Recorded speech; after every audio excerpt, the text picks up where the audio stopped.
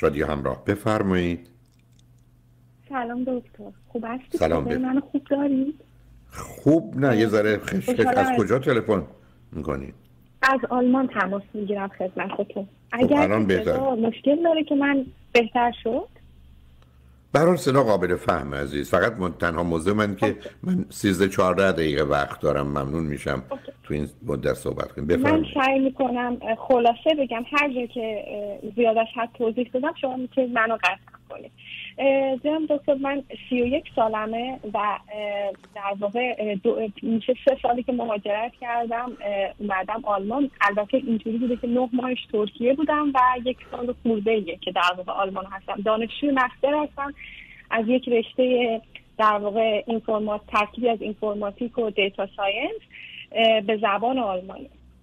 من در واقع موضوع اصلی این بودش که من حالا خلاصه بگم از کلا از بیماریهایی که حالا دارم تا برسم به اون مسئله که من در واقع این دوره مهاجرتی کردم متوجه این شدم که خیلی از بیماری های روانی که داشتم حالا از طرف پدریم هستش که بعد با در واقع گوش دادم به سیدی شما متوجه شدم که خب خیلی ژنتیکه که تشخیص ADHD رو من دادن استراب انگزایتی و افسردگی شدید. جوری بود که من وقتی که رسیدم به این کشور با تلاش بسیار زیادی که حالا برای گرفتن یه پذیرش و حالا خوندن این زبان و اینا وقتی رسیدم اینجا دیگه دوست نداشتم که کلا ادامه بدم من دوست داشتم بمیرم. یعنی می‌گفتم خب اگر که من نشیدم اینجا و خب دیگه الان نمی‌خواد و وقتی که بعد هی شدیدتر شد من دیگه پارسال خب اینجا تنها بودم و خودم به سختی تونستم یه دکتر پیدا کنم چون پیدا کردن دکتر ایرانی اینجا خیلی سخت بودش. یه دکتر حالا پیدا کردم و تونستم اه، باهاش در مشورت کنم که این تشخیصا رو من دادم. و برام دارو نوشتن و من از پارسال تقریبا یک سال و دارم دارو مصرف می‌کنم و تحت نظر ایشون هستم. یک مقدار بهتر شدم ولی نه خیلی تا حالا آنچنان تأثیری داشته باشه. چیزی که الان هستش این که هم من کلا تو مسیرم دچار مشکل شدم. اینکه خب درس خوندن و کار کردن همزمان برای من اینجا خب خیلی سخته. نه اینکه نتونم انجام بدم. انجام میدم.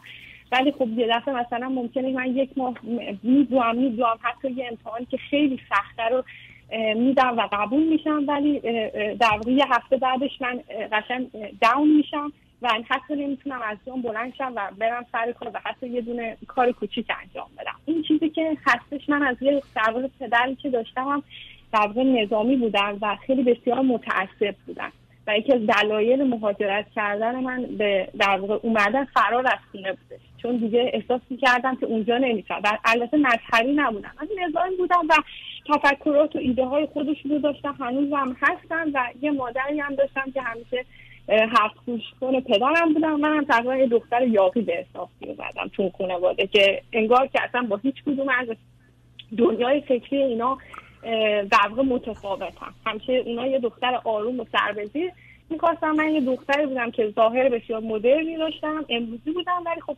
درس هم میخوندم دیگه. ولی خب این براشون قابل درک نه همیشه فکر می‌کردن که من باعث در واقع سرفکندگیشون میشه خب شما چرا؟ نصب کنید. شما که در ایران درستون رو خونده بودید چرا ازدواج نکردید؟ تو همونجا نموندید. که از خونم خلاص خیلی بشید دوست داشتم ازدواج کنم. خیلی باورتون نمیشه از 20 سالگی من تلاش کردم که خب. ازدواج کنم. تو رابطه های به خاطر محدودیت هایی که داشتم خب خانواده خیلی کوچیکی داشتیم. کسایی که سنتی در واقع معرفی کردن که من نه حالا وارد جزئیات نمی‌خوام بشم. آخه عزیزم صبر کنید. در چون وقت کمه. ببینید بله، عزیز بله. شما با توجه به آنچه که دارید اشاره می‌کنید بهترین کارتون این بود که ازدواج می‌کردید تو اونجا میموندید. چون وقتی من برگردم بگم یه ناخونم شکسته و یه دستم هم در رفته و اینا بعد بگم می‌خوام برم حالا ورزش بکنم میگن آخه این چه ورزشه من بگم زمینه افسردگی دارم استراب دارم. حالا ADD اون یه قصه دیگری است. حالا می‌خوام پشم برم اروپا درس بخونم.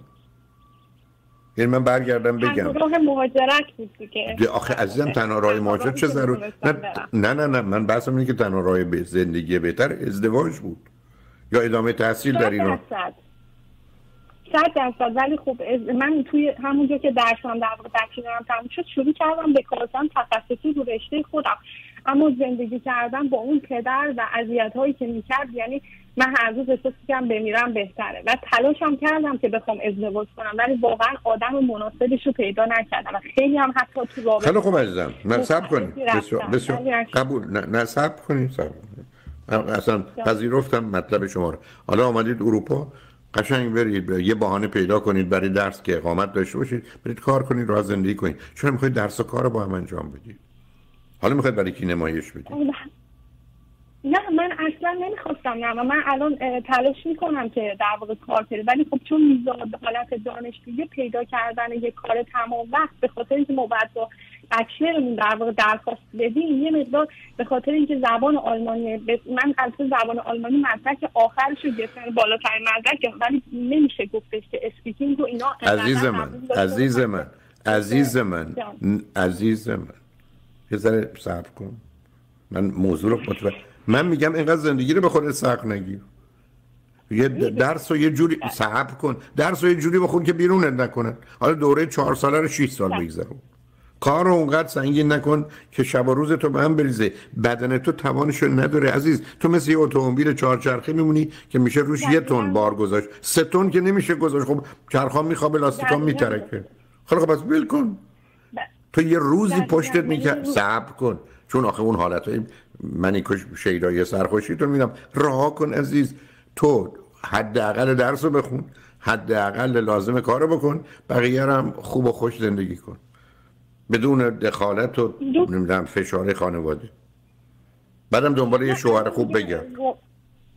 من همین فکر رو کردم. در واقع راه حلی که پیدا کردم همین ازدواج بودش. ولی متاسفانه من ظاهر بسیار خوبی دارم. یعنی مثلا جوری هست که همه میگن خیلی متاسفم. من واقعا از این من از این من از این بعد بسیار خوشحال و خوشبختم برای آدمای نازیبا ازم پرت و پراجه رو میگی؟ چرا بیخودی شلوغش می‌کنی؟ تو به قول خودت از اون زندان خلاص شدی آمدی؟ قبول. کار درستی نبوده ولی میگی درست بوده. منم ازت میپذیرم. دور درس در حد اقلی که بیرونت نکنن کار در حد اقلی که زندگی بدن. دنبال شوهر مناسب گشتن معنوش اینه که شاید هفته دیگه پیدا بشه یا هفت سال دیگه. من که نگفتم شوهر ریخته برو یکی برد بیار. ولی ولی اینقدر به خودت تو سخت نگیر. تو میگی پدر مادر من یا پدر من اونقدر سخت می‌گیره تو الان اومدی جانشین پدرش تو اروپا. ده درصد از او صد درصد از او بدترم شدی. پیدا کردم. خب نکن ول کن. از همه مثلا پسرها ایراد می‌گیرم یا اینکه مثلا خب بگیر. در قبول می‌کنم که مثلا تقریبا همه چیش کامله. توی ایرانی ها هم خب اکثرا شاید مثلا عزیز من عزیز من عزیز من عزیز من تو با این زنده با این دید هم از پا در میای هم بی شوهر میمونیم. دست از مسخره بازی بردار. من بدونم که یه مش الان اصل خوردم. به من میگن این پرتقال رو بخور. می‌دونم که این پرتقال برای من ترش خواهد بود. اصلا داد و بیدار را بنظرم که این ترش خب خب اصل خورده بودی قبلش. تو برمیگردی میگی من در همچی زندانی فرار کردم. آدم مضطرب و وسواسی شدم. برو اونو معالجه کن ولی من دارم به تو درست عکسش رو میگم. مثلا اون اول معلومه مشکل تو چیه. عزیزم درس رو در حدی بخون که بیرونت نکنن بتونی بمونی. کار رو در حدی بکن که احتیاج داری دنبال یه مرد مناسب بگرد. ای پیدا شد ازدواج کن. اگر نشد نشد. اما به خودت تو سخت نگیر. تو آمدی از پدرت بدتر شدی بالای سر خودت. پدرت نیست ولی پدر اردی نشونی تو مغز خودت و داری با خودت میجنگی. ول کن دکتر من روزی صد بار با خودم دعوا می‌کنم. خب خب بنابراین بزن تو گوش خودت. عزیزم بشین جلو آینه برگرد بگو دختر. بشین جلو آینه بگو دختر مسخره بازی رو ول کن. بابا نیست اینجا. تو نترس. خوب باش خوش باش. از زندگی لذت ببر. حداقل درس حداقل کار حد اکثر یافتن فرد مناسب. همین. ولی اصلا به خودت سخت نگیر. تو چرا خودتو باز دوباره تو شیشه کردی؟ مثلا باور نمی کنم تو رو. تو آمده شدی صد تا صد من زندگی رو دوشم افتاده. هیچ مسئولیت بزرگی تو زندگی نیست. اگه بخوای حداقل درس و حداقل کار بکنی هیچ جام نمی‌خوام بری. هیچ توفیقی هم نمی‌خوام بشی. بنابراین نه یا جانشین پدرت بشو. این سگ هار درونی وجود تو هست که مسئله توه. حالا می‌خوای نمایش بدی؟ نده. حتی اگر می‌تونی انگلیسی بهتره برو جایی که زبان انگلیسی یا آلمانی هستی موندی به هر حال خوشبخت داره بسیار دختر باهوش هستی؟ الان بهتر شده دکتر. خیلی خوب. پس بنابراین اصلا من فقط خوب تونستم پیش برم. دختر گوش کن. من فقط می‌خوام تو از خودت انتظار و توقع زیادی نداشته باشی همین. من از می‌خوام تو یه دختری باشی کمترین کار رو بکنی کمترین درس رو بخونی بیشترین لذت رو از زندگیت ببری. ممکنه لطف بفرمایید به این دختر خانم بگی اینجوری باش. این پرت و پرایی که تو می‌گیره دیگه من نگه. بله. خلاص کن بله. خودتو یه وقت دیگه هم بیا با هم صحبت کنیم. ما قرارمون چی شد؟ حداقل درس حداقل کار بیشترین مقدار لذت و خوشگذرونی در زندگی. زن خوشگذرونی سالمی که هست. گوشه ذهنت هم بازه. یه پسر خوبی پیدا شد. قلابش کن خفش کن بگیرش. شر کارو بکن دیگه. چشم. دکتر حرف من جدی ها. حالا اگر یک روز دیگه اگر وقتم اومد من یک روز هر وقت دل هر وقت دل گوش کن. هر وقت دلت خواست. من نمیگم. کسانی که یه دفعه حرف زدن نمی‌تونن حرف بزن هر وقت دلت خواست تلفن کن من بیشتر کتک کاری کنم. ولی تو به من قول دادی. تو به من قول دادی. حرفای من بسیار بسیار جدی می‌گیری. شش ماه بر اساس حرفای من زندگی می‌کنی. وقت متوجه میشی که افسردگی و استراب و این زهرماران میرن دنبالشون.